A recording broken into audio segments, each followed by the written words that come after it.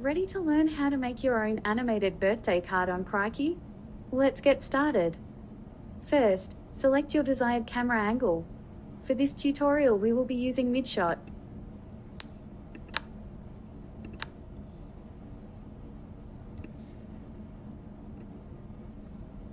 Second, select your 3D environment.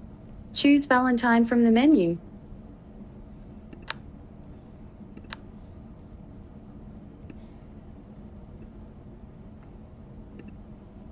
Next, choose a facial expression for your avatar.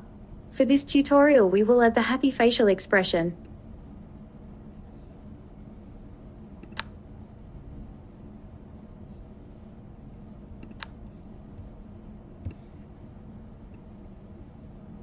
Last but not least, add your text.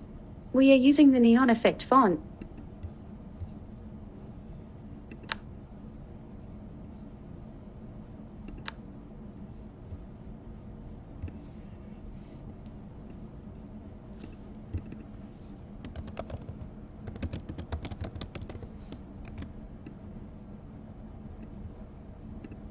And there you have it, you have just created an animated birthday card.